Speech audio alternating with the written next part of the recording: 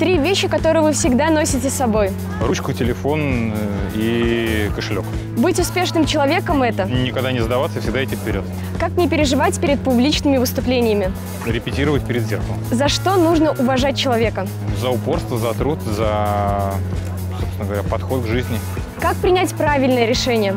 А Не как попробовать э, сделать, а потом понять, правильно оно или нет. Какой подарок самый лучший? Тот, с которым тяжело расставаться, тот и ценен.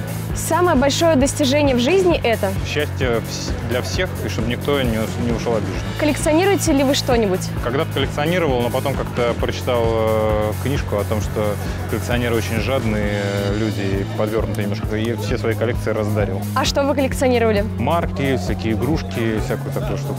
Кем вы хотели стать в детстве?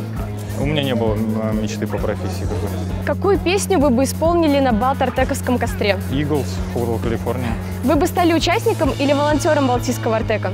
Ну, наверное, волонтером. Если бы вы все-таки стали участником, то какой поток вы бы выбрали? Э, Ну, вот, я думаю, киношный. Да, конечно, на главную роль заявился.